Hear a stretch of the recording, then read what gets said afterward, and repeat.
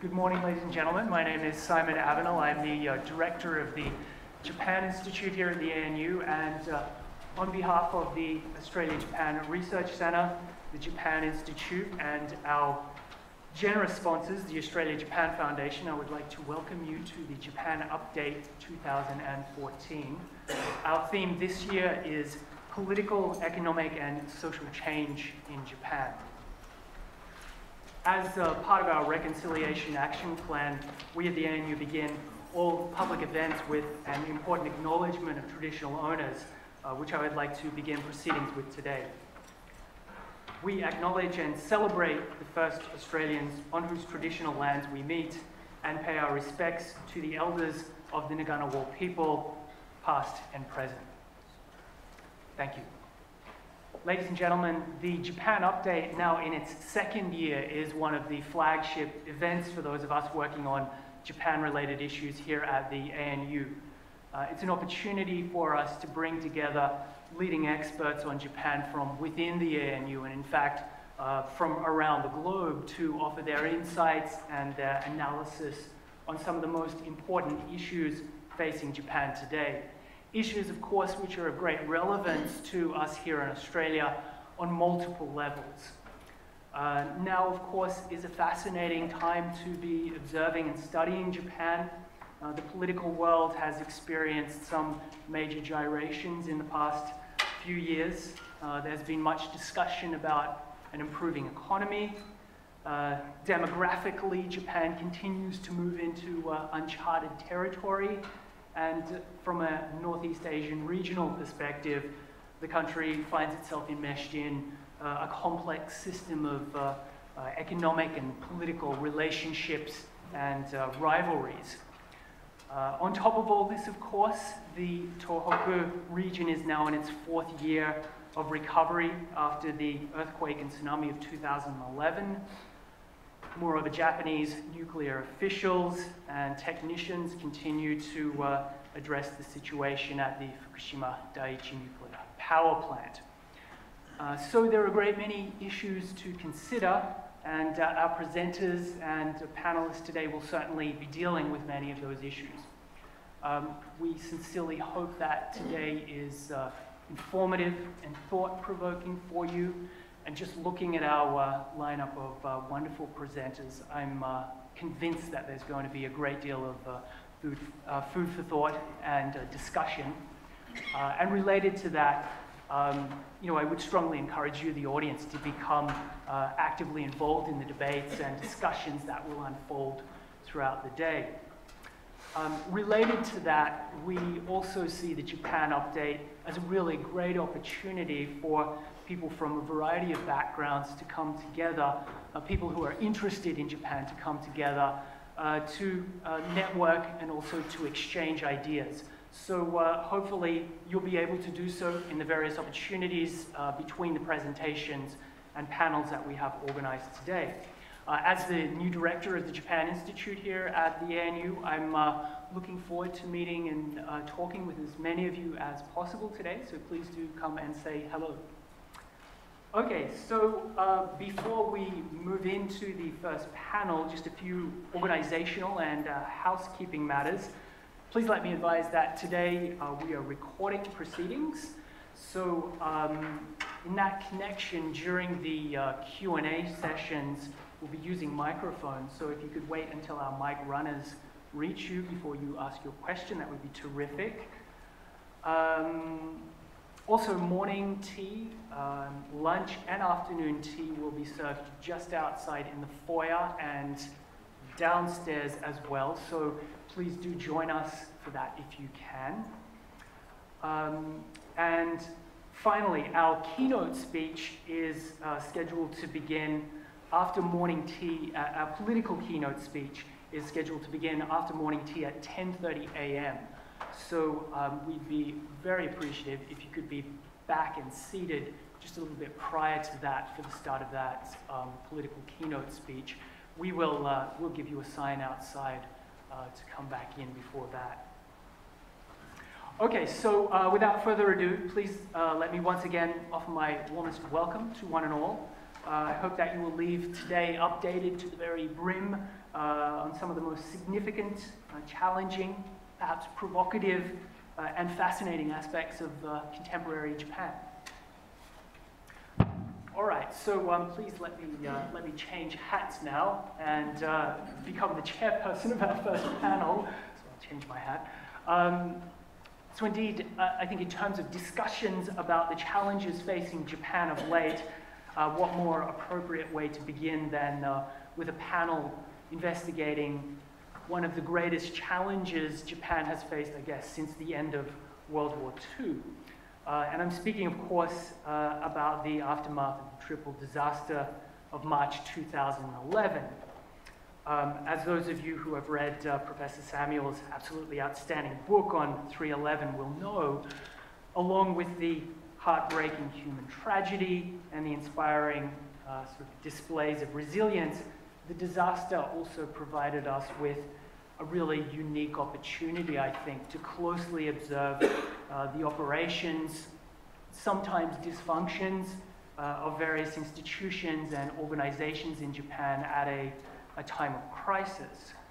Political leaders like uh, former Prime Minister uh, Kan Naoto found themselves under the public and media microscope for their decision making. Uh, the nuclear industry and utility companies, TEPCO in particular, came under greater scrutiny than ever before. And corporations like SoftBank, Yahoo Japan, Mitsubishi generated a great deal of uh, public goodwill through their financial and material support for uh, the post-disaster recovery effort. Now, the other important source of post-disaster response, of course, was civil society, which is the focus of our first panel this morning, which deals with Fukushima and civil society. now, uh, by civil society, I'm referring, or we're referring to a very broad sphere of not-for-profit activity, um, which included activities like disaster volunteering, uh, community level reconstruction activities and initiatives, and of course, contentious political mobilizations, for example, demanding a nuclear power phase out in the country. Uh, we witnessed all of these phenomena in the wake of the disaster. Uh, so uh, it was a very busy time indeed for those of us who work on civil society. Uh, needless to say, just as the disaster raised cr critical questions about political leadership, administrative competency, and of course nuclear safety, it also, I think, raised um, interesting questions about the nature of civil society in Japan. Uh, as I'm sure you know, opposition to nuclear power escalated after the disaster, beginning with a series of uh, Friday evening gatherings outside the Prime Minister's residence in downtown Tokyo, and peaking with a number of massive demonstrations in late 2011 and stretching into 2012. The question, of course, is what happened to or what is happening to that energy after it left the streets. Uh, moreover, what does the post-Fukushima civil society landscape tell us about the state of civil society and, I guess, democracy more generally in Japan? Uh, we have uh, three truly distinguished presenters to address some of these questions today. And so what we will do in the, uh, the first panel is um, we will uh, move through the presentations first, and uh, afterwards we have, um, I think we, have, we will have a comment from a distinguished participant who will be joining us, uh, after which we'll open the floor to questions and discussions. So um, our first speaker is Professor Koichi Hasegawa, uh, who is without a doubt one of the preeminent scholars of Japanese civil society and social movements worldwide. Uh, significantly for our discussion today, he's been studying Japanese environmental and anti-nuclear activism for many, many years. Um, so he brings a really deeply informed perspective uh, and analysis to uh, the nature of civil society in the wake of Fukushima. Uh, Professor Hasegawa's presentation today is based on a, a very recent paper in the journal International Sociology entitled The Fukushima Nuclear Accident and Japan's Civil Society Context, Reactions, and Policy Impacts, which I strongly recommend, and uh, there are some copies out there for those of you who are interested in, in picking up a copy of that. Uh, I strongly recommend it. Uh, so uh, without further ado, please uh, let me invite uh, Professor Hasegawa to the podium. Please join me in welcoming Professor Hasegawa.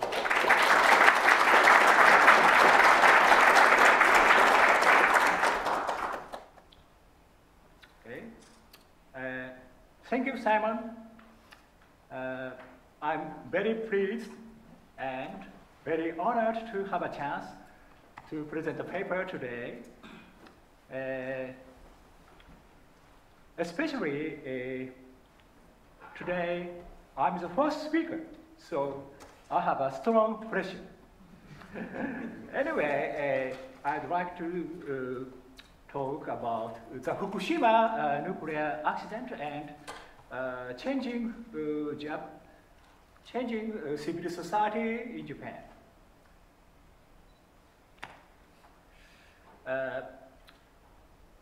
I think Japan's uh, civil society has three turning points, starting of Heisei era and 1995 uh, Hanshin earthquake and March 11 disaster.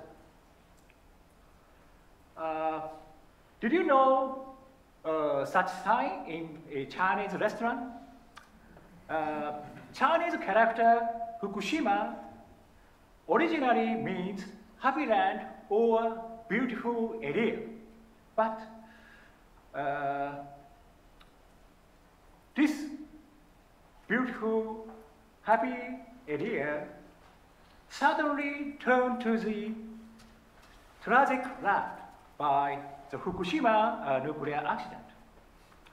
And uh, even now, uh, more than 80,000 people are forced to evacuate by government order or uh, by their own will. And they can't see their way clear. Very little hope. Uh, and uh, uh this summer, uh, 2014, we had the first summer with no nuclear power operating uh, uh, since 1966. Uh, and I have today three research questions. How can I, how can we grasp the relationship between state and civil society in Japan? And after the Fukushima disaster, how, was, how has the anti-nuclear citizen activism changed and shifted? And how is anti-nuclear activism facing the barrier? Uh, and uh, uh, generally speaking, uh, until the end of the 1960s, uh, Japanese social movements were guided by uh, socialist ideals. Uh, but uh, in Heisei era, 1989, the Berlin Wall had fallen. Also in Japan, and the new goal for Japan's social movements became the building of a liberal, vibrant civil society. Uh, 1995 uh, Kobe earthquake, thousands of people uh, from all over Japan rushed to Kobe to help the victim. This incident triggered to uh, uh, uh legalized the 1998 non-profit organization law. So uh, this is my hypothesis. general relationship between state and uh, civil society. So when a strong state is capable and can solve social problems, uh, citizens' activities are, are, relatively weak and social support for such activities is relatively weak. This is a Showa era's uh, situation. And simply speaking, when a strong state decreases in ability to solve social problems, citizens' activities are required to solve with stronger social support for such activities. This is a Heisei era situation.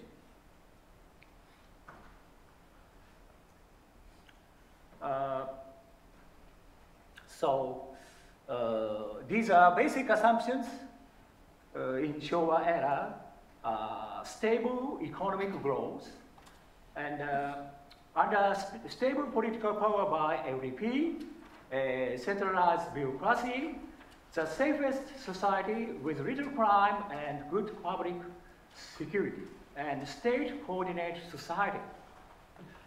Uh, but uh, how about in Heisei era? Long year recession, declining economic power called uh, lost two decades, unstable and frequently changing political leader. We have 18 prime ministers in Heisei era in these uh, 12, six years, including uh, double counting of current Prime Minister Abe. Uh, and a reform for decentralization. And we are realizing uh, in the risk society So uh, this is a very simple contrast, uh, the Showa era and the Heisei era. Okay? Uh, so recently, currently, a problem is found, an NPO is founded. So uh, Japanese society has 50,000 uh, NPOs.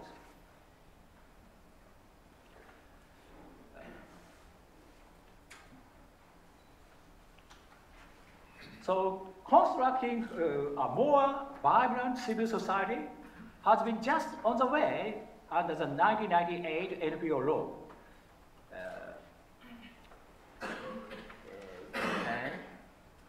and, this is uh, my uh, analytical scheme uh, based on uh, social movement uh, theory. So I'd like to focusing on cultural framing, mobilizing resources, and structure of political opportunity.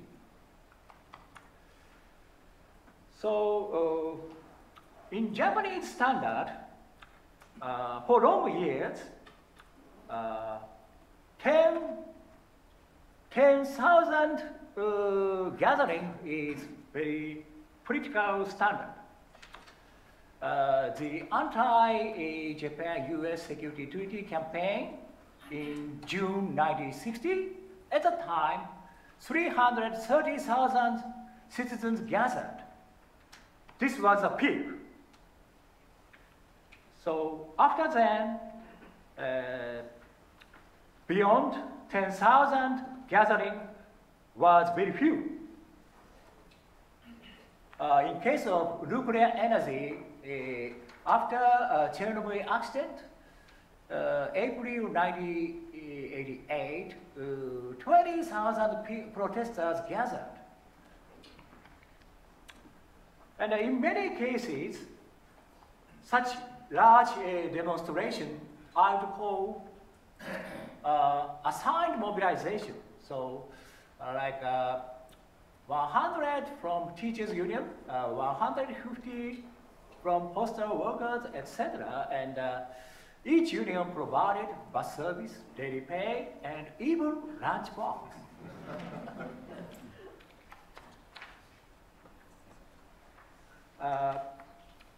so uh, I would like to articulate uh, these five stages uh,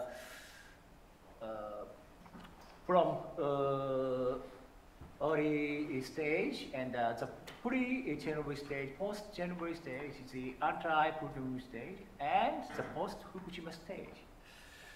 Uh, and uh, uh, before the Fukushima uh, nuclear accident, Japanese government uh, policy to promote nuclear energy has been uh, too stable and too coherent.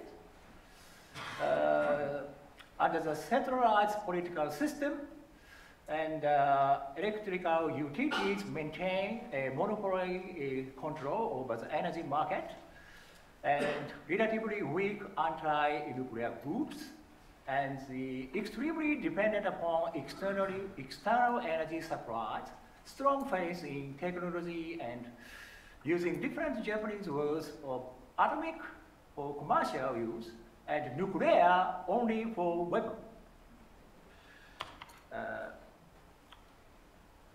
so, uh, after the Fukushima uh, disaster, Japanese society are facing to real risk of exposing radiation, and many reaction and new activism occurred from civil society. So, uh, very interesting. Uh, from uh, mid-April, uh, such a protester uh, started to gather uh, more than uh, 10 thousand. Okay. and June 11, uh, Shinjuku, 20,000 protesters gathered, and also other 140 places nationwide.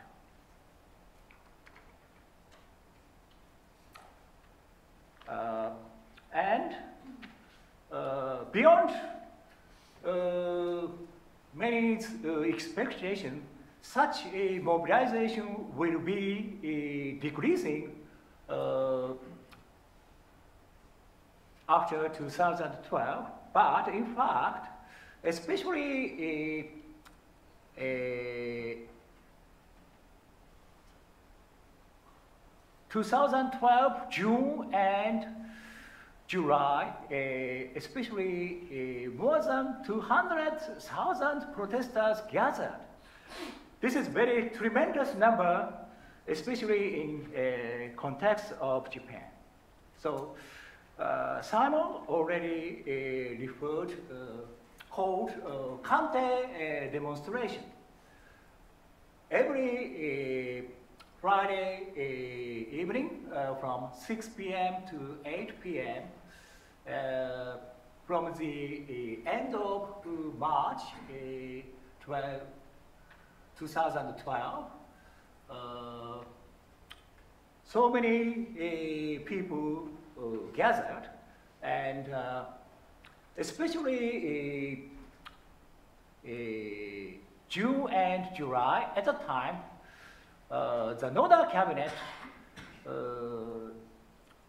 started to be opening uh, two nuclear reactors in Kansai area to meet uh, the summer peak.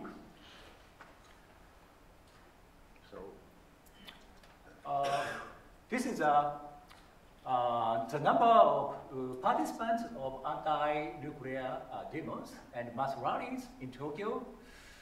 So this is a line, 10,000. This 10,000 line is very critical, so I already described uh, only before the Fukushima accident, only two times uh, more than 10,000 people gathered for anti-nuclear issues. Uh, but uh, 2012, uh, June and uh, July, uh, two times, 200,000 people gathered.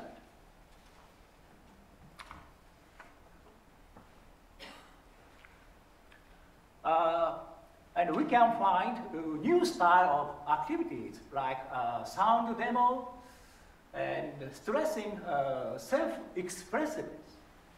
And uh, so many varieties, varieties of uh, participants.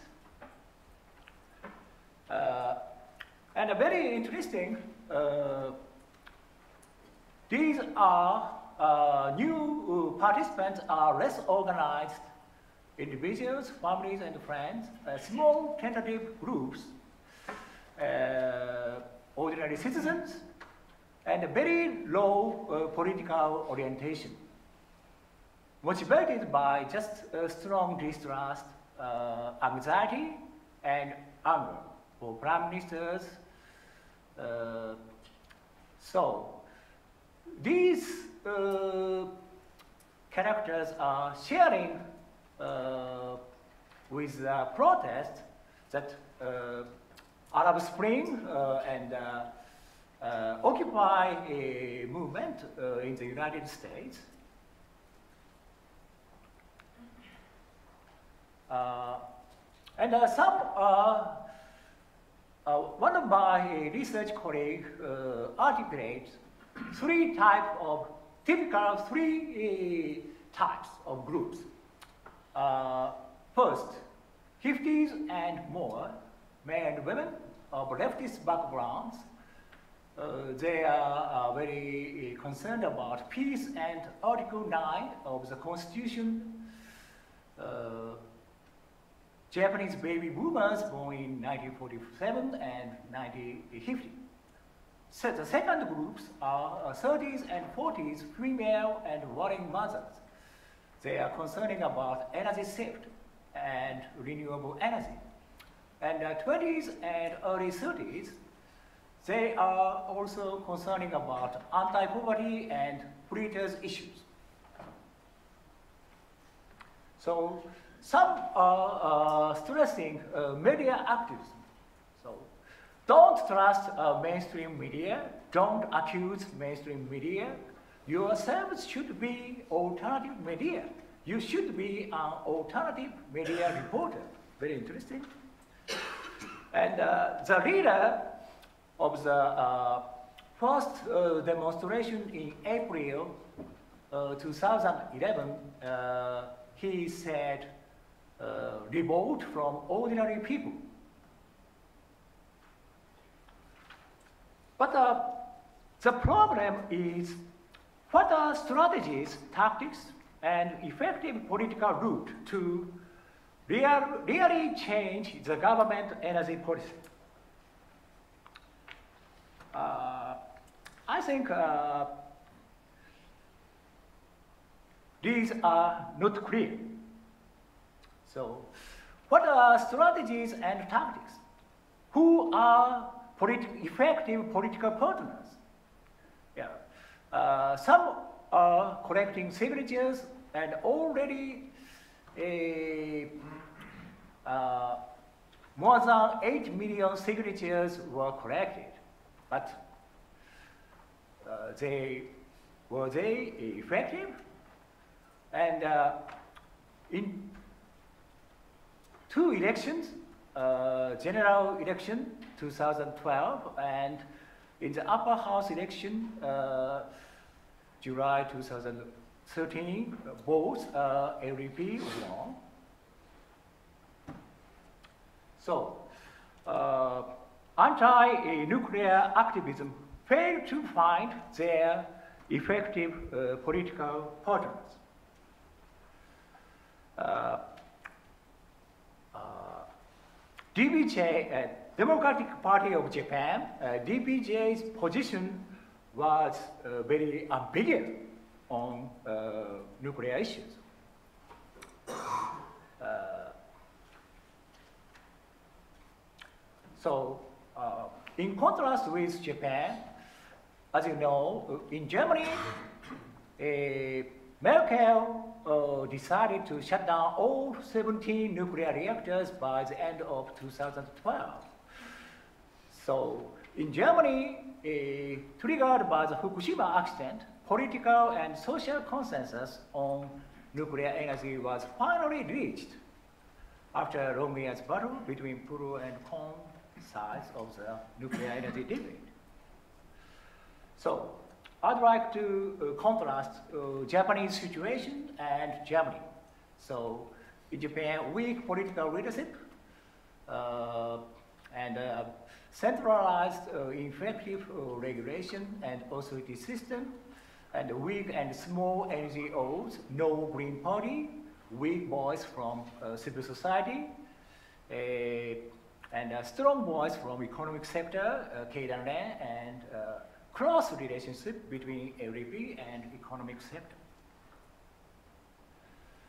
So uh, after the Fukushima accident, very few policy change happened. Uh, only new law to promote renewable energy and uh, new strict and independent regulation system started, but uh, recently LDP and pro-nuclear side are currently giving strong political pressure to admit the reopening. So, uh, Japanese nuclear energy policy, we have three possibilities, uh, shut down all nuclear reactors immediately and uh, reopening uh, the nuclear plants.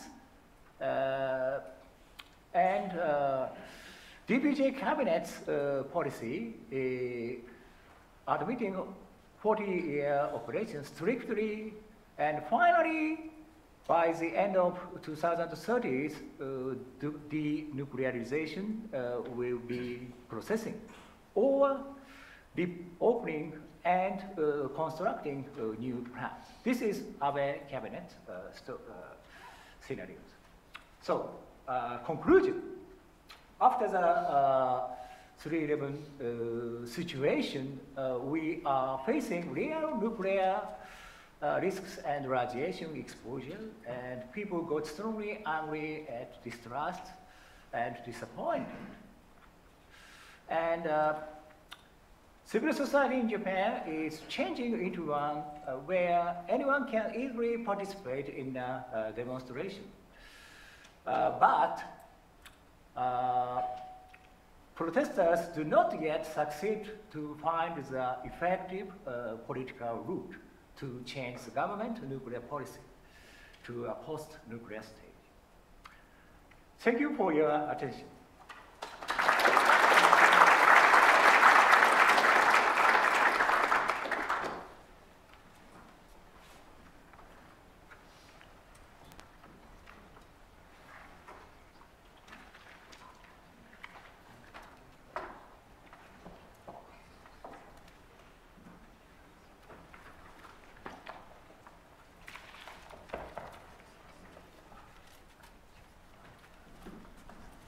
Thank you very much, uh, Professor Hasegawa. Our second speaker is uh, Dr. Shoko Yoneyama. Uh, she is a sociologist based at the University of Adelaide. Uh, Dr. Yoneyama has published extensively in the sociology of education, as well as in the areas of alternative agriculture and the organic movement in Japan. Uh, professionally, Dr. Yoneyama has been a leading figure in building Japanese studies in Australia, apart from serving as social sciences editor on the flagship journal Japanese Studies. Dr. Yoneyama was coordinator or co-coordinator of the Gateway Japan Study Tour, the uh, largest project funded by the Australian government's new uh, New Colombo Plan project in uh, 2014. Uh, Dr. Yoneyama's presentation today is based on a recent paper entitled Life World Beyond Fukushima and Minamata, which asks whether we have the language and the concepts in the social sciences to really understand uh, Minamata and Fukushima, a fascinating connection there. Um, and also ask the question about you know, whether we have the, uh, the capacity in the social sciences to prevent such uh, or the language to prevent such catastrophes happening again. Uh, this is a really wonderful paper which I highly recommend and actually it's available online. I think you can, you can download this one, so please do read it. Uh, ladies and gentlemen, please join me in welcoming Professor Yoneyama.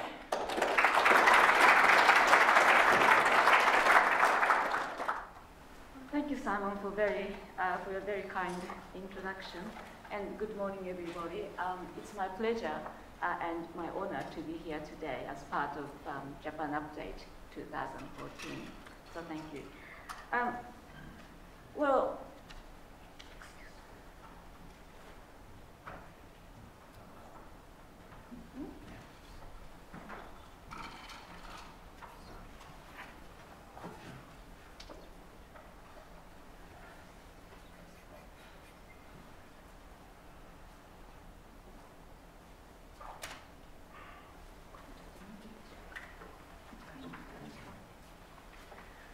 Well, I have a very lengthy and greedy title here.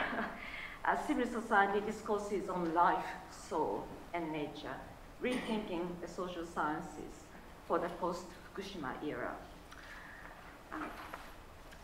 This is the uh, excerpt from the preface of the book 311 by Professor Richard Samuels, who is sitting right um, although, although the scale, scale may differ, the triple disaster would have caused a similar sense in each of us, researchers of Japan, in relation to our own work.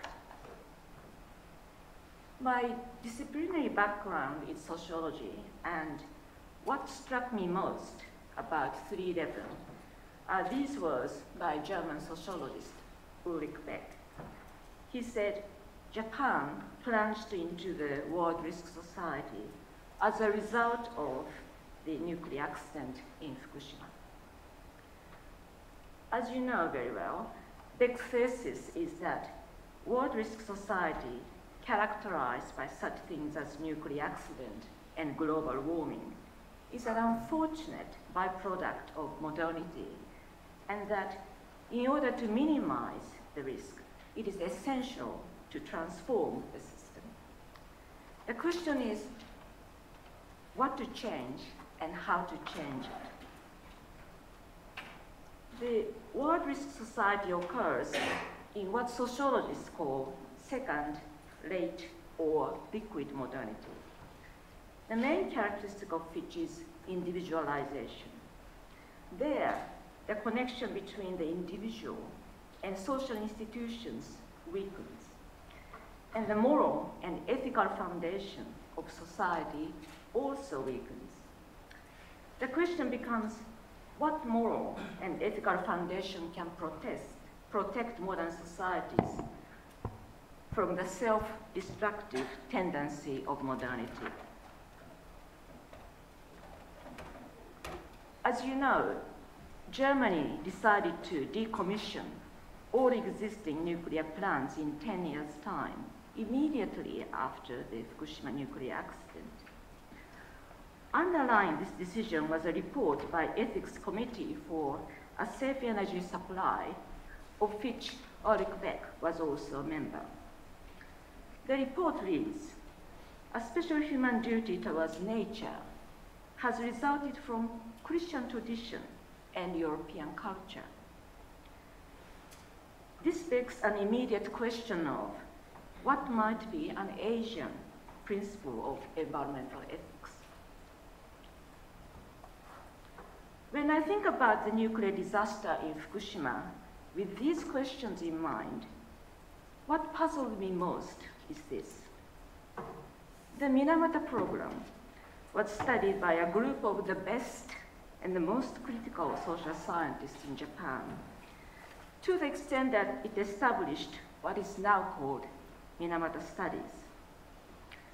My question is why, with the very best of social scientists, we couldn't prevent Fukushima. The question is not just about power and political economy, but also about epistemology. Have we not missed something really important, the key to understanding Minamata and Fukushima? This graph shows Japan's economic growth by GDP. The red line indicates the growth rate, and the histogram, the size of GDP. It shows that this phase of Japan's economic growth began with Minamata and finished with Fukushima. Minamata disease was officially recognized in 1956, exactly at the time the Japan's economic high growth period began. The nuclear accident at Fukushima occurred only days after China officially displaced Japan as the world's second largest economy. Minamata and Fukushima thus symbolizes the beginning and the end of Japan's economic success. Between 1956 and 2011, social science research has contributed enormously to understanding the structural problems associated with modernity. In the context of Japan, we found that even though 55 years apart, Fukushima and Minamata have many fundamental commonalities. From the perspective of political economy, the commonalities include that both were driven by relentless pursuit of profit, collusive relationships between industry, governments, bureaucracy, and the media, marginalization of critical scientists, including social scientists. Looking from a different perspective, the catastrophes of Minamata and Fukushima present cases where breakdown of connectedness occurred at many levels. There was breakdown in communities and families, in our relationship with nature, in the way food is produced and perceived, in our way of life, and it affected people's connectedness with the past and the future.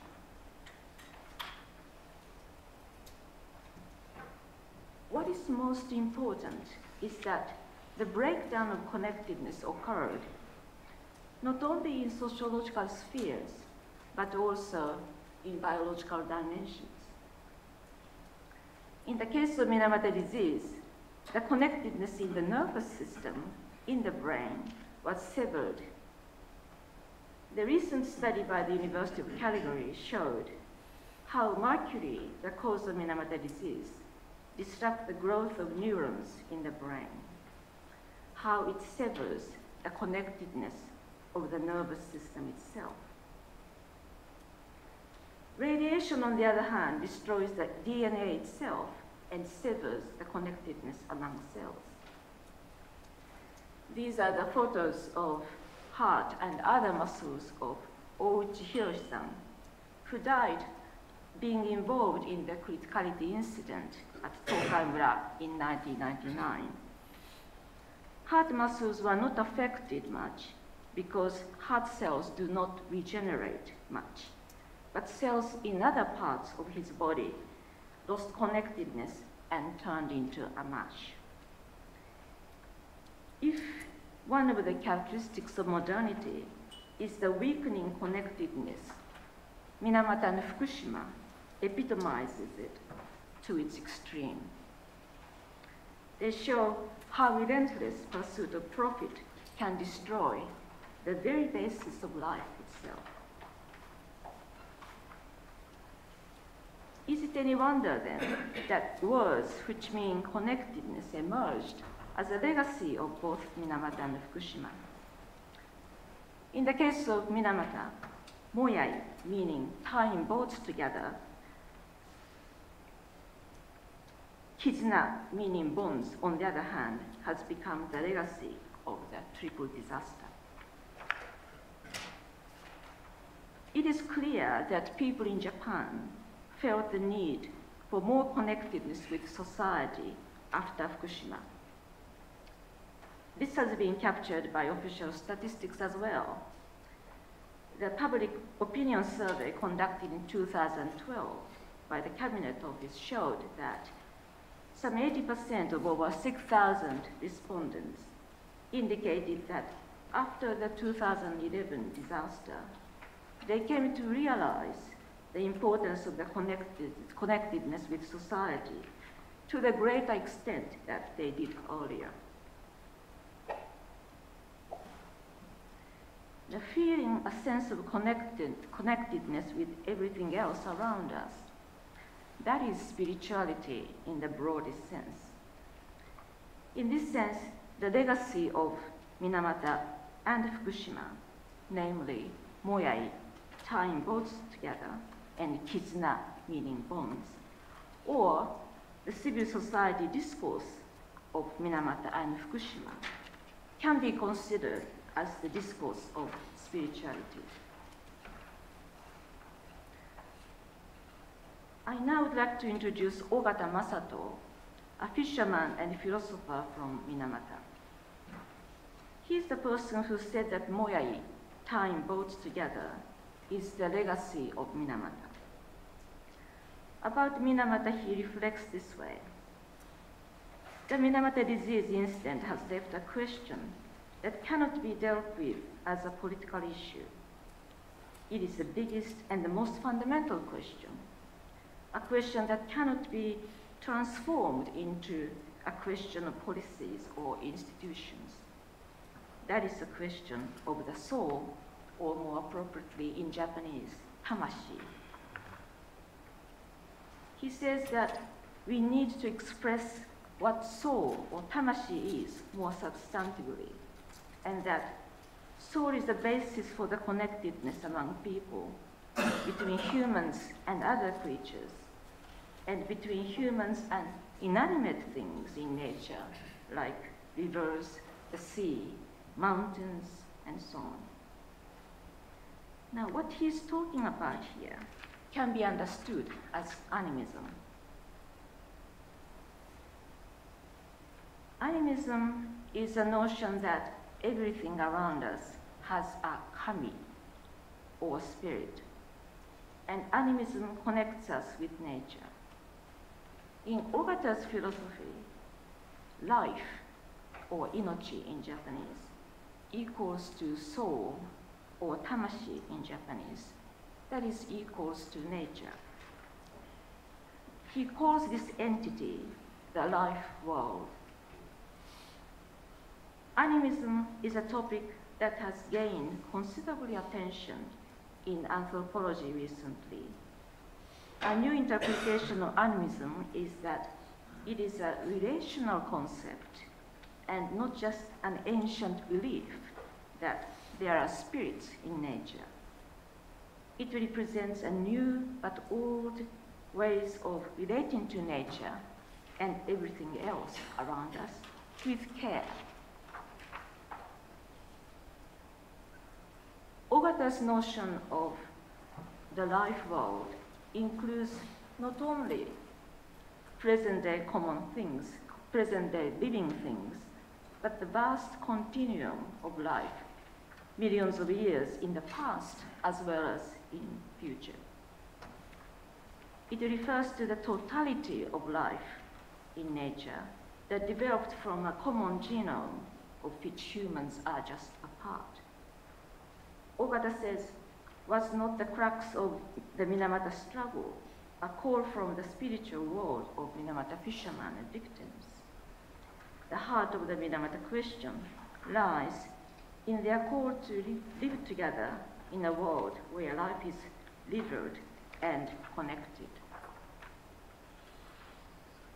In the field of social science, the question of spirituality constitutes a big lacuna. This is because social science itself is a product of modernity, and secularism has been its most fundamental premise. Matters of spirituality, therefore, has been epistemologically strange in the social sciences. Animism has been treated as if it were magic, and its elimination was considered key to modernity. At the same time, the notions of nature and life have been quite limited in the social sciences so far. Is it possible for the discourse of Minamata and Fukushima to fill this lacuna and provide a new but old kind of principle of environmental ethics? So here's my conclusion. Every philosophy and every social theory is culturally and historically specific. while the impact of the increasing economic power of Asia is felt all over the world, no ethical framework to support its sustainable uh, development has emerged. Ogata's philosophy may provide a first step for us to start imagining a new way of perceiving everyday life for a different kind of modernity. To do this may demand an epistemological change in the social sciences. But perhaps there is nothing new in this. After all, sociology didn't exist before Durkheim established the existence of social phenomena sui generis that are independent of the actions and intentions of individuals. Would it be going too far to say that recognition of the existence sui generis of the life world might be the precondition for a new kind of modernity where sustainable development is possible? Thank you.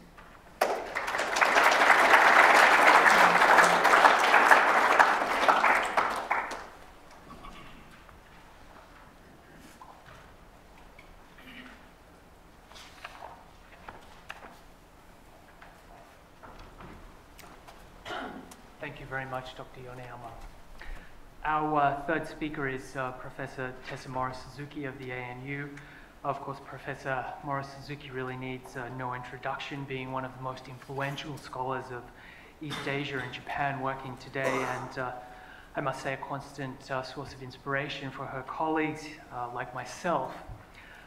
In relation to Fukushima, some of Professor Morris Suzuki's recent work has focused on citizen radiation testing, uh, rebuilding initiatives among nuclear, uh, excuse me, around rural communities near Fukushima, and uh, a much broader um, project on the phenomenon of daily life politics in Japan.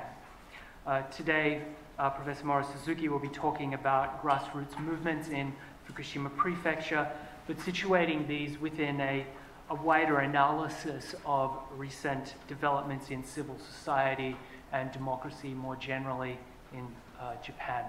Please join me in welcoming Professor Morris Suzuki.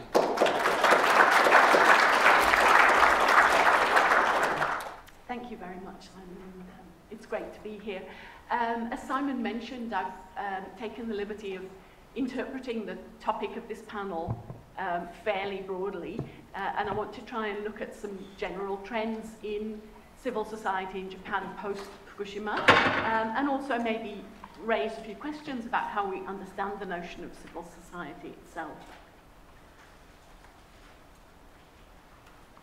Um, very soon after the 311 triple disaster, I participated with some other ANU academics in a forum at the Australian Institute of International Affairs on the implications of, for Japan of the March 2011 tsunami. And at that time, events were still unfolding, and it was really very difficult to predict anything.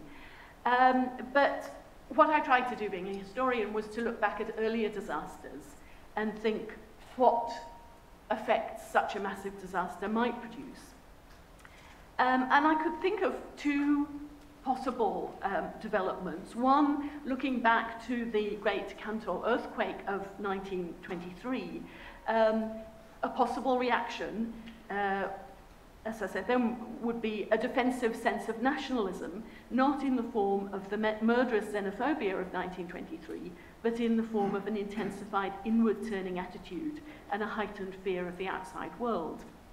And another possible trend, looking back to the 1995 Kobe earthquake, could be a rise in the forms of civil society activism that flourished after that earthquake.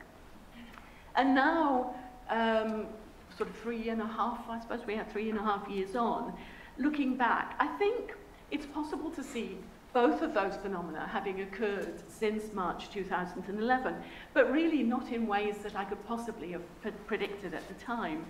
Um, and in a way, um, a rise in certain sorts of nationalism and a rise in certain sorts of civil society activism have not only occurred side by side, but have, have been intertwined in um, complicated and um, sometimes rather troubling ways.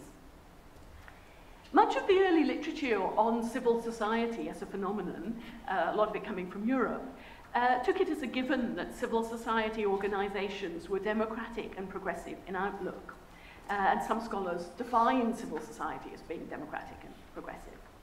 But events that followed the collapse of the communist regimes in Eastern Europe uh, from the late 1980s led to the emergence of a more pessimistic view, um, and some scholars started writing about uncivil society, so grassroots, non-governmental movements that were nationalistic, anti-democratic, sometimes openly racist. And some scholars of Eastern Europe pointed out that it's actually risky to draw a very sharp line between civil and uncivil society because certainly in the Eastern European case, sometimes, you know, one kind of morphed into the other.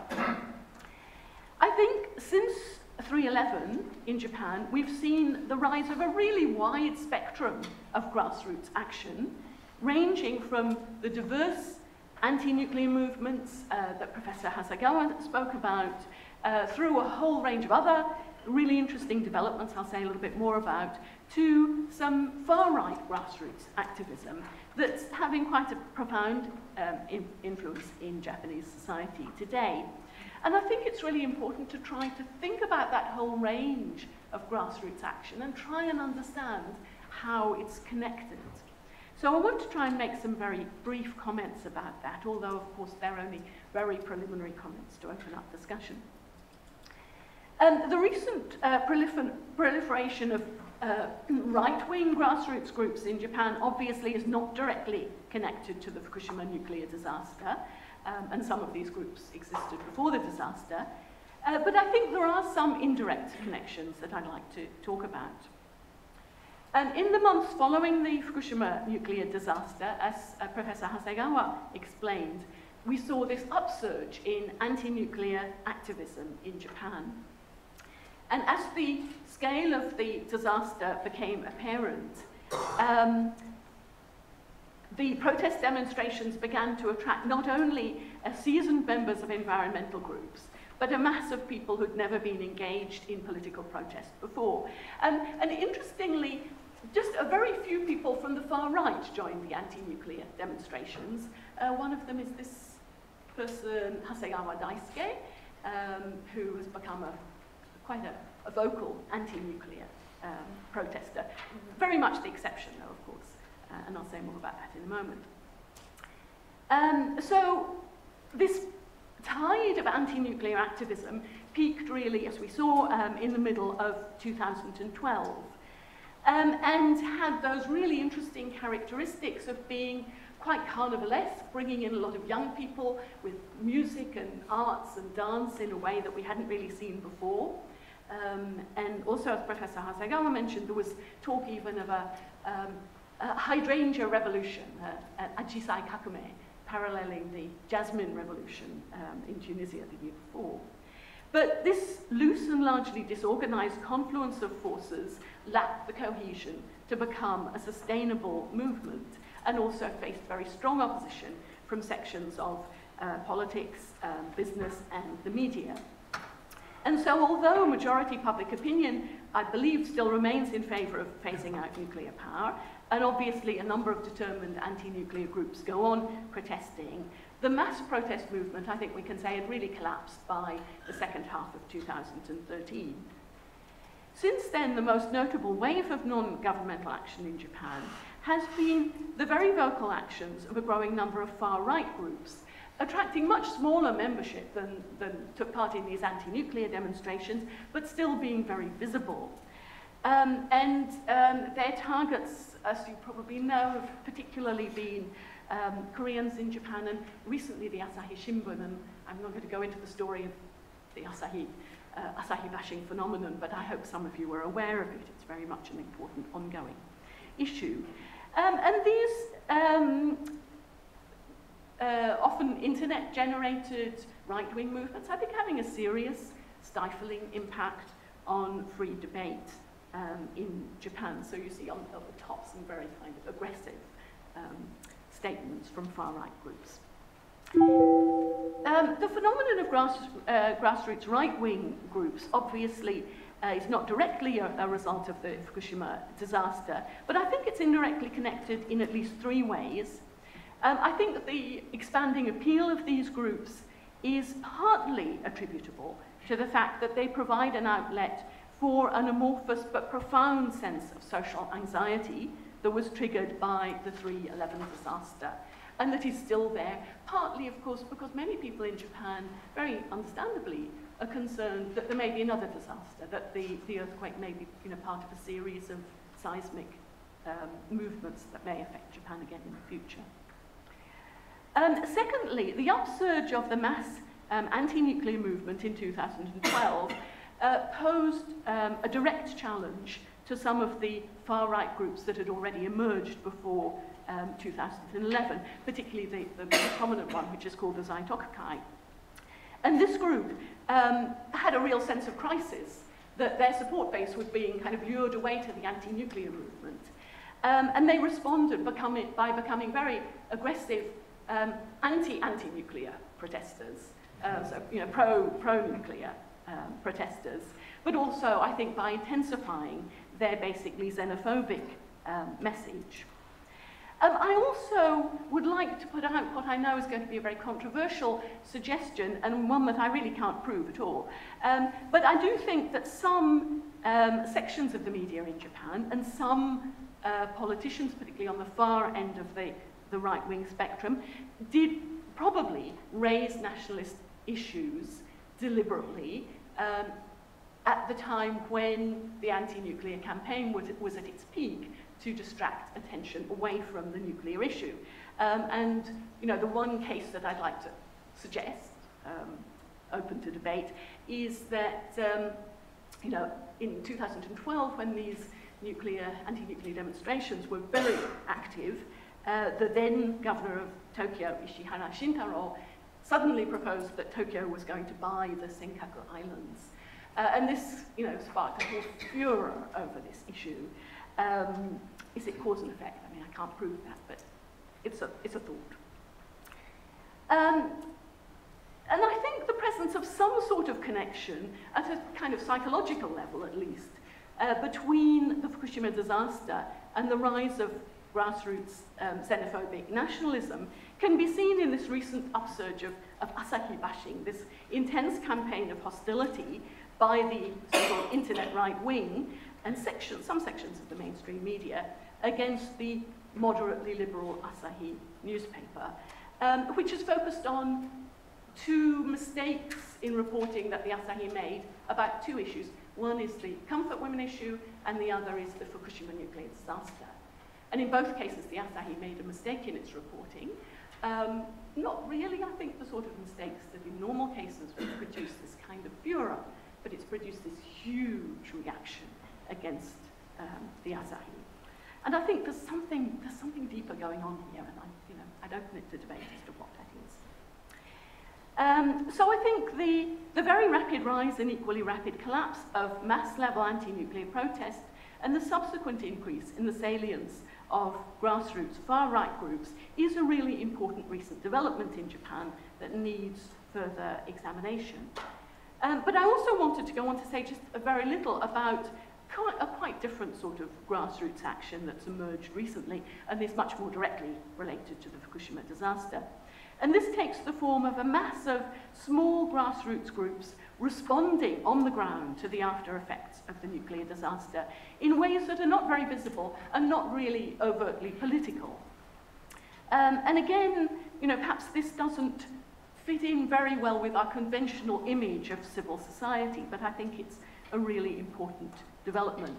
Um, and you can find these grassroots um, uh, actions, community actions, all over Fukushima Prefecture and elsewhere. But I'll just talk about one that I'm particularly familiar with. It's a case study I've been studying for about um, more than a year now. Um, this is um, a community movement based in a town called Towa, which is part of Nihonmatsu City in Fukushima Prefecture. Um, Towa is not far from parts of the exclusion zone, uh, but it was protected from the worst of the disaster by a range of hills nearby.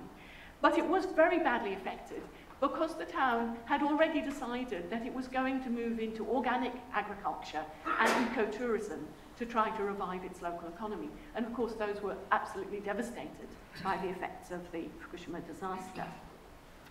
Um, but the Towa community's response to the disaster, I think, has been really remarkable and in many ways really inspiring. Um, using their existing organic farming NPO as a hub for their activities, uh, they've developed their own schemes to um, uh, measure and map radiation in their area. Um, and they've developed um, collaborative programs with a group of academic scientists from Japan's Organic Farming Research Association uh, to explore ways to reduce the level of radiation in their crops to zero, if possible, or close to zero. Now, some of the members of this community have been very active in the anti-nuclear power movement. Um, others have not. Um, others are more cautious about at least the idea of immediately closing nuclear power stations. So there's a range of political views, there's a range of views on nuclear power within the group. But that doesn't really matter because what they're doing on the ground is not to do with ideology, it's to do with, you know, how do we survive, how do we grow crops that we can sell and that we can eat, and how do we measure our own health and monitor our own health. Um, so in retrospect, I think that the years following the Fukushima disaster will come to be seen as an era of profound change in Japanese civil society. But because those changes are still ongoing, it's very difficult to reach any firm conclusions about them. And I think that one of the key problems that emerges from the very diverse forms of non-governmental action that I've talked about is the notion of community um, that um, Shoko Yoneyama uh, referred to in her paper particularly. So the disastrous impact of the Fukushima explosions and meltdowns on the surrounding area encouraged significant and inspiring efforts to rebuild affected communities from the ground up. Um, and as uh, Professor Yoneyama mentioned, you know, one of the key terms has been kizuna, bonds. And this is a very you know, ambiguous term, so it can be very much about local community bonds, but it can also have a national um, uh, element to it that in some ways ties in with more right-wing sort of rhetoric. And I thought these two images of Kizuna were interesting ones. The one on the right, very much a local, environmental sort of image. The one on the left, a more national focused image. Um, so these rather random reflections on civil society in uh, post-Fukushima Japan lead not really to any clear conclusions at all, but to a series of questions that I'd like to put forward for our discussion in this session and maybe in the course of the day. Um, for example, is the recent upsurge of right-wing groups in Japan a temporary wave that's going to pass as quickly as the upsurge of mass anti-nuclear protests passed, or is it part of a longer-term trend? And how deep is its long-term impact on civil society and the public sphere in Japan going to be? Can the crucial question of the future of nuclear power in Japan be put back at the centre of the public debate agenda because I think it's been somewhat sidelined in the past year. And can grassroots rebuilding of communities damaged by the disaster be developed into a movement that expands the power of an open and tolerant and pluralistic civil society at the national as well as the local level?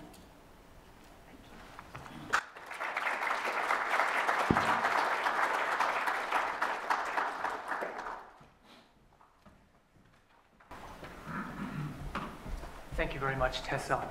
Uh, today we're extremely fortunate to uh, have with us Mr. Murray McLean, currently chairman of the Australia-Japan Foundation, a generous supporter of today's Japan update.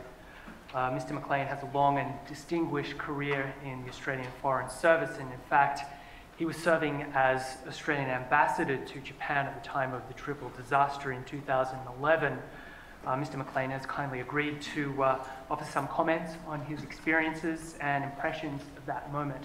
Uh, so please join me in uh, welcoming Mr. McLean.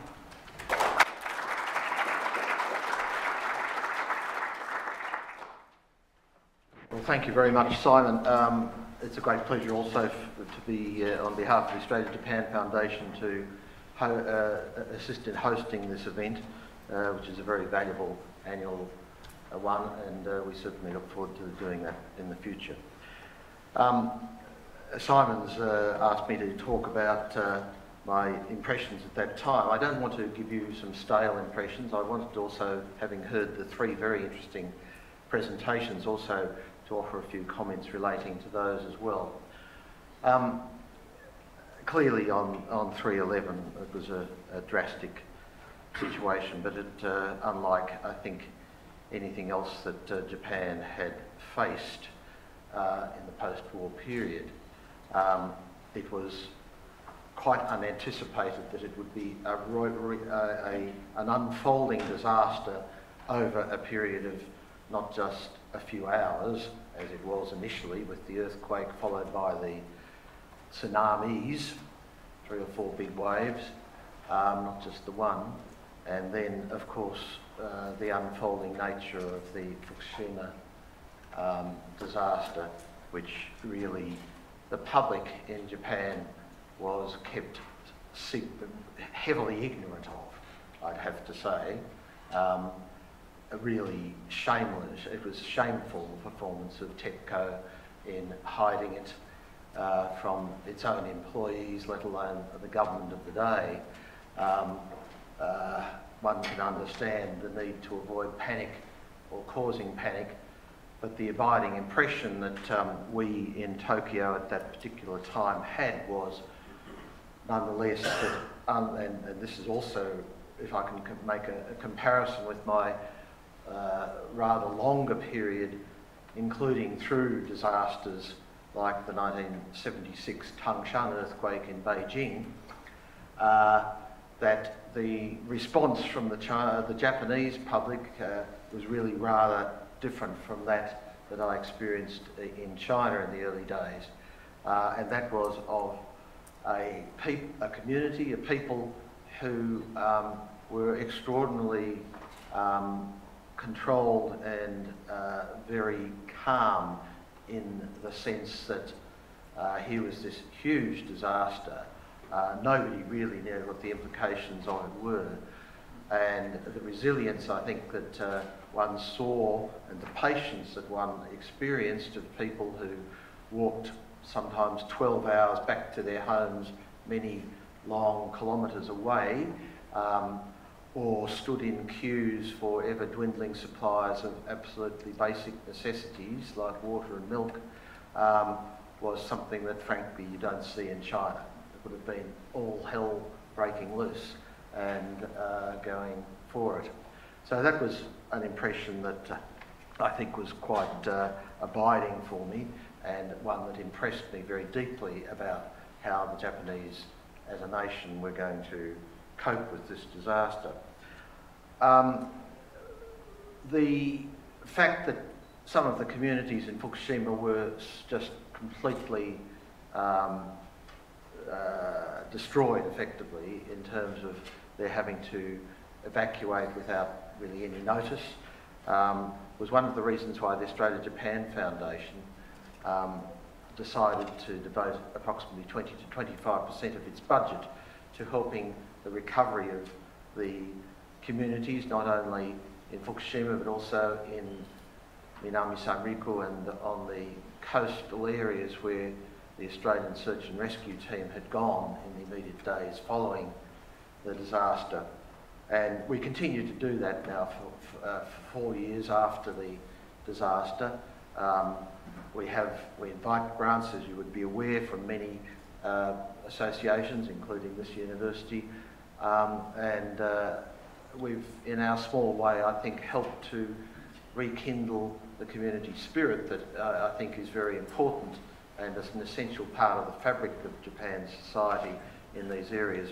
The dislocated communities of uh, um, around Iitate, which uh, was 45 kilometres from Fukushima, uh, but by a freak of atmospheric uh, and weather conditions, received a huge dump of radiation on it, um, raising the levels of radiation there some hundred times what they should have been, um, were uh, one of the reasons why the Australia Japan Foundation decided to support uh, in several ways uh, giving playground equipment to the children of a kindergarten um, who were um, of the displaced families and also uh, to uh, um, set up a mobile library service for the communities.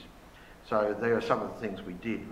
I um, would also just like, thirdly, to comment on something that hasn't really come out but has been implicit in the comments of the three speakers today, and that is um, that clearly there's a huge upsurge of worry and concern amongst a lot of the population in Japan about the implications of having nuclear energy as part of the energy mix. And as you'd be all aware, uh, at the time of the Fukushima disaster, it was something like 28% of the energy mix. It's now zero. And that is, of course, not without its impact uh, on, Jap- on Jap- Japan's economy. In fact, it's, got, it's one of the biggest factors that is going to potentially um,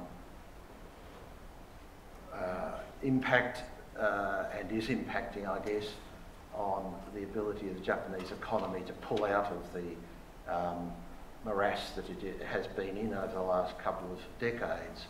Um, the price of imported uh, fuels to provide the energy that Japanese industry and community needs is clearly one that um, uh, hits the budget very hard.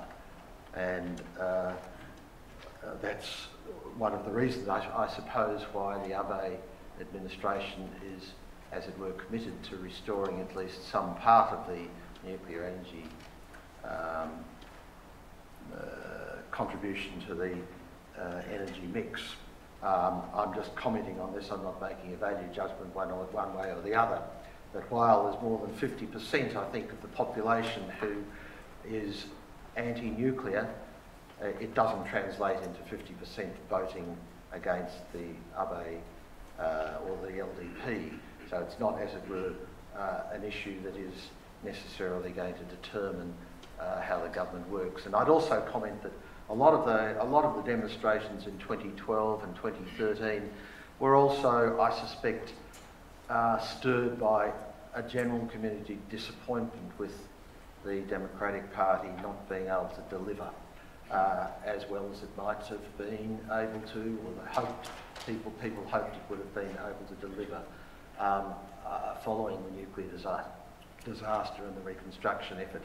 Um, it was uh, really very difficult for any government to have approached that with, with uh, and to have succeeded, but they unfortunately were the ones in government at the time it happened and naturally got the backlash a lot from it. So I think a lot of those demonstrations were not only about anti-nuclear sentiment, but also probably about the administration's perceived failure at the time to cope with it all. Anyway, I think that's a few comments.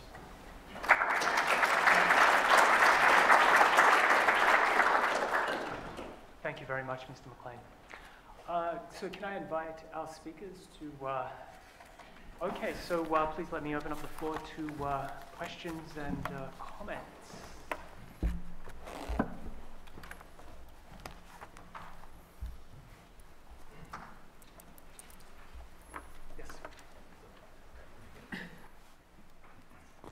Li Gangsong from ANU. Uh, thank you very much for the, uh, the very interesting and uh, informative and update uh, discussion on this uh, one of the important issues. My, uh, my question just to Professor Hasegawa-san. And your key hypothesis of your speech is that the state, when state is strong and civil society is awake, when the state is awakened and the civil society are rising. So uh, you, you seem to suggest that there's some kind of a substitute relationship. And uh, I will argue that hope actually lies at, uh, at uh, you know, the complements.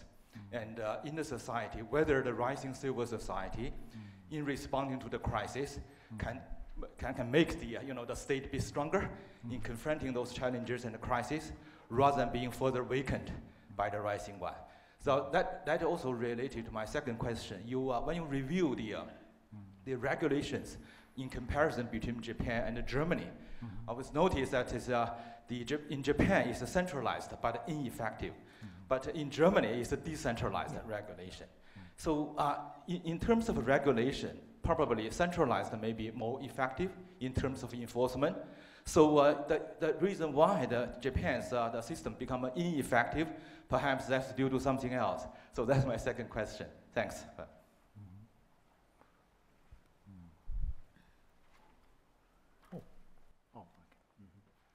Okay. Uh, hmm. Uh, thank you. Uh, uh, questions for me. Uh, yeah. Uh, the relationship between a state and uh, civil society. Yeah. How can I think about both relationship? for example, in the U.S., relatively weak uh, uh, government and strong civil society. I'm not sure here in Australia, maybe strong uh, civil society. Uh, but uh, in, uh, in Japanese context, balancing between the power of central government and the power of civil society.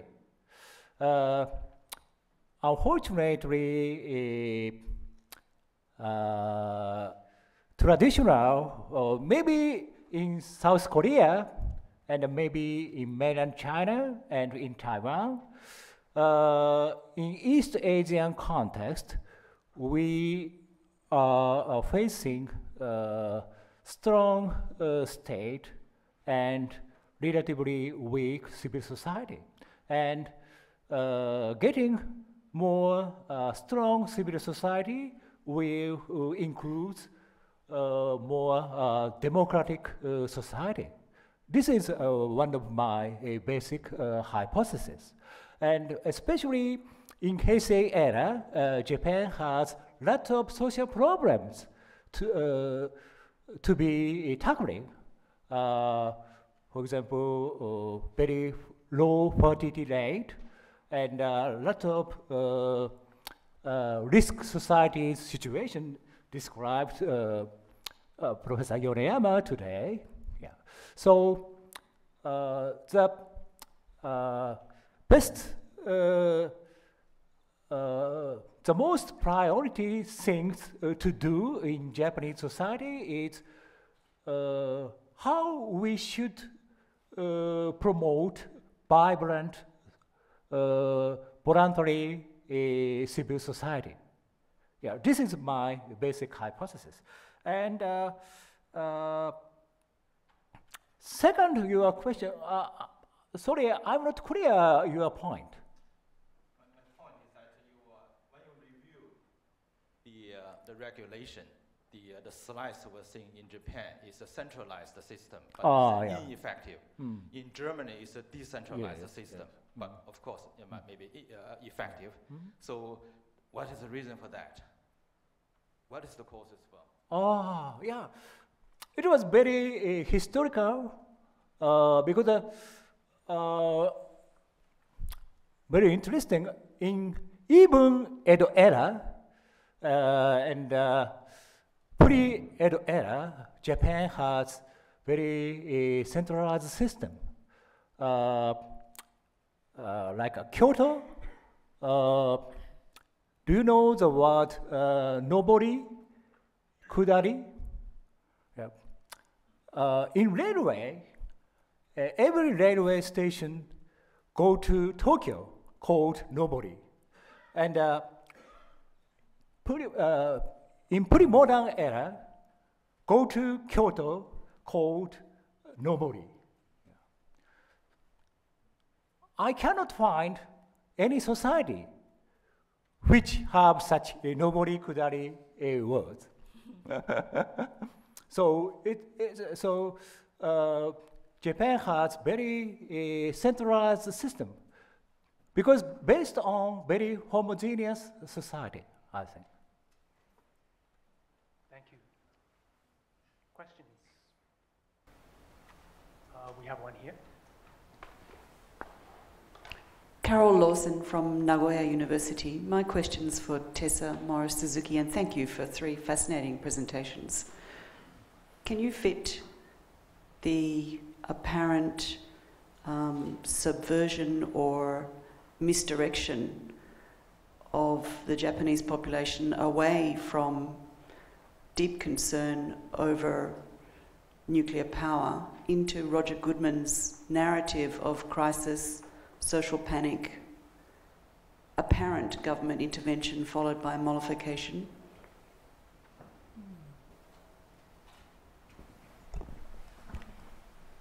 Thank you. Yes, um, I, hadn't, I hadn't thought of that particular framework, but I think that it does probably fit very well. Um, um, I think it's, it's a complicated issue because I think the, the sense of social anxiety in Japan at the moment is a really complex one. So it is partly directly about nuclear power, it's partly about the fact that we still really don't know what the human and environmental effects of the Fukushima disaster are going to be. Um, but of course, it's also more broadly about the natural disaster issue. Um, but I do think that um, there have been some deliberate attempts at the political level, and you know, meaning not only politicians but also sections of the media and so on, to try to um, yeah, channel that anxiety in directions that um, will make it manageable from the point of view, from a political point of view.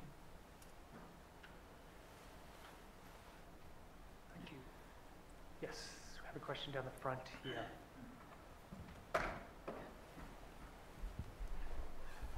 Thank you. Uh, Nobu Akiyama from Hitotsubashi University. Uh, thank you very much for fascinating uh, uh, three presentations. I have a, a, sort of a bit different view on the, the worries and the radiation effect.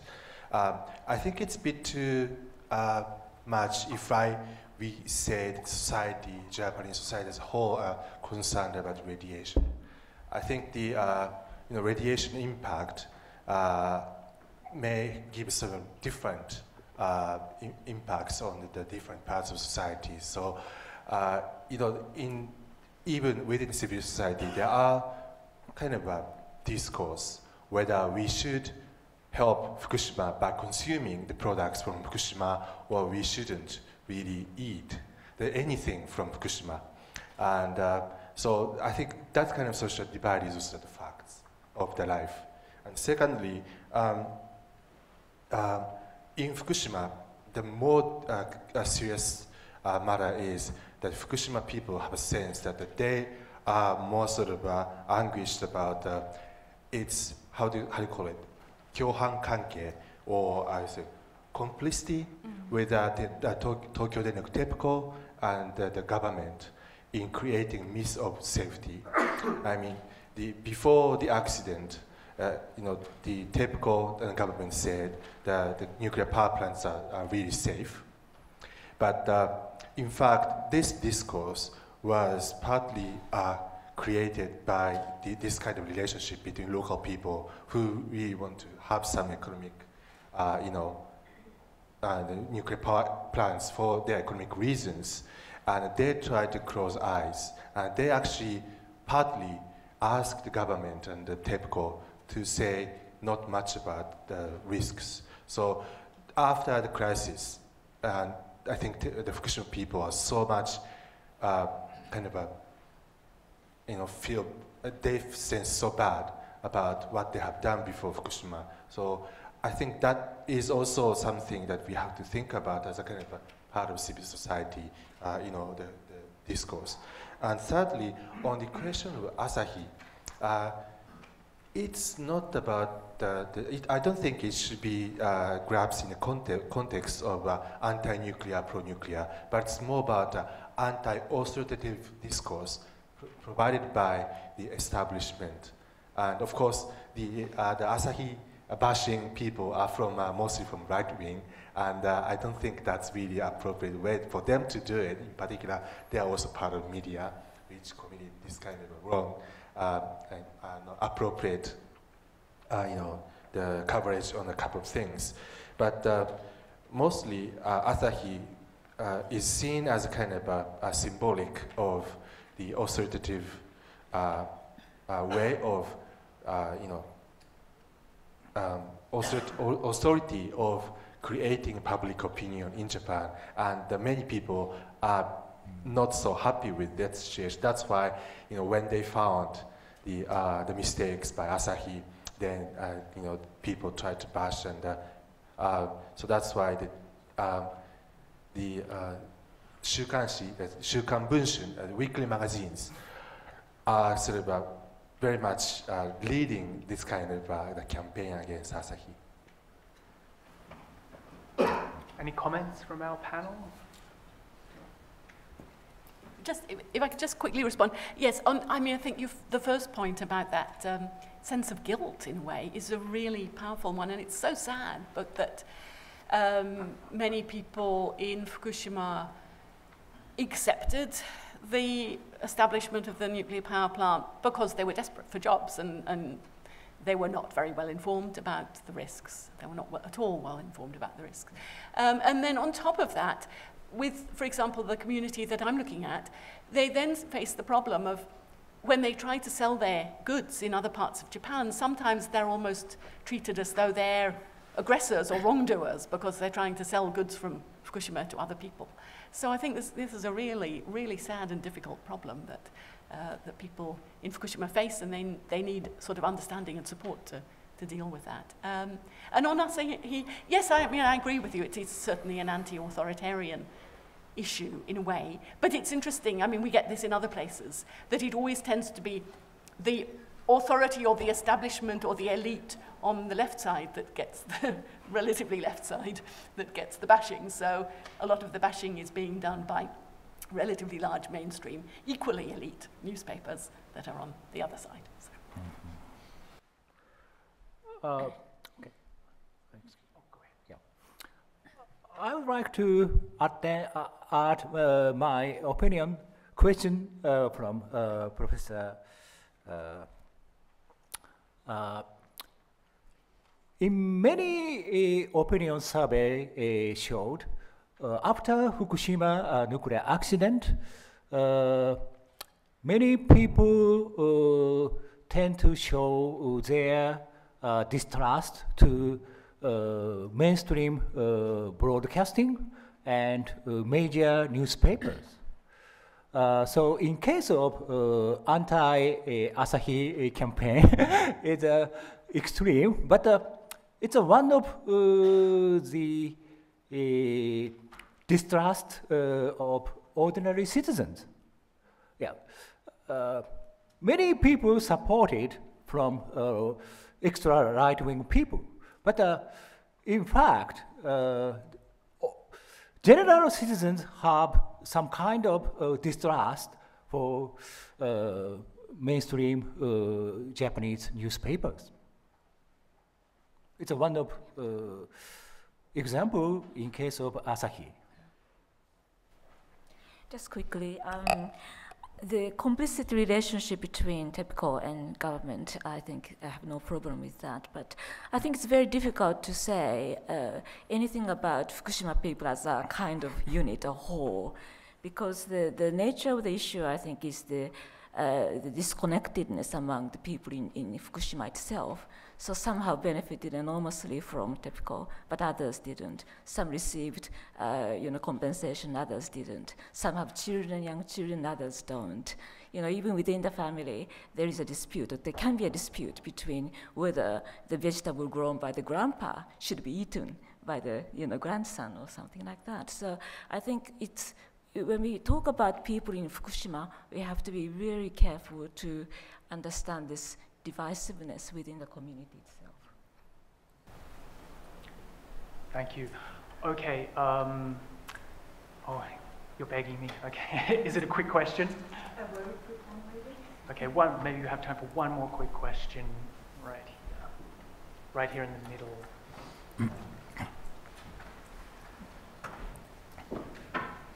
Um, thanks as, again for the lectures. I have one question. Did the idea of the German government to close down the nuclear facilities has any influence on the first anti-nuclear movement and on the government in Japan?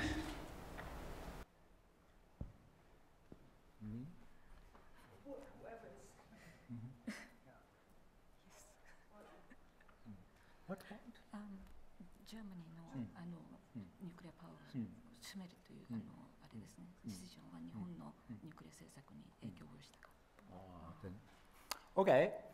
Uh, I think, uh, unfortunately, Germany's uh, decision uh, uh, by Chancellor Merkel right after Fukushima accident in 2011, uh, this decision did not affect Japanese government.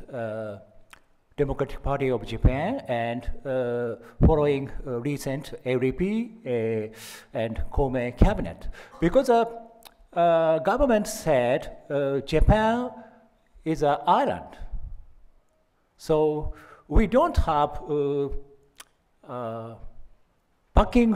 electricity like Germany. Germany has French and surrounding area can produce, uh, can uh, provide uh, electricity. Yeah. This is a, one of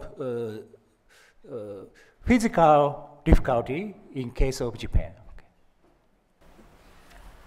Okay. So it's time now for a break for morning tea. Um, I would like to once again thank our panelists and also our, our commentator, uh, Mr. Murray McLean. Uh, please join me in a short